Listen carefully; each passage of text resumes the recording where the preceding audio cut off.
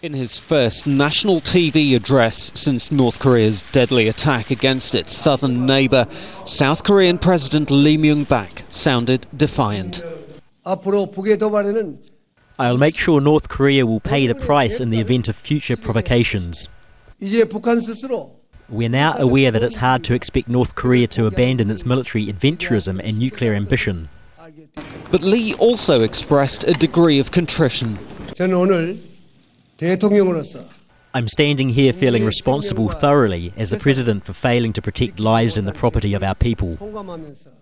Over on Yeonpyeong Island, which bore the brunt of the worst North Korean shelling in about half a century, one of the remaining residents urged Lee to take tough action.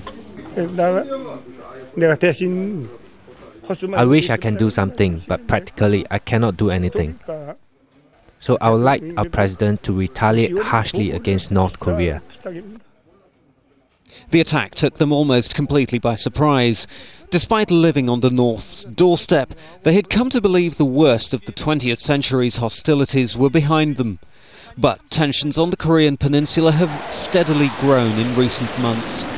Joint US South Korean naval exercises off the west coast near the disputed maritime border between the two Koreas are heating things up even more.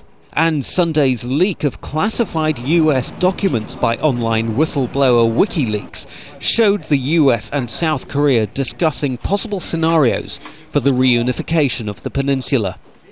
For its part, North Korea has repeatedly promised that Tuesday's attack might be just a taste of things to come if it's provoked further.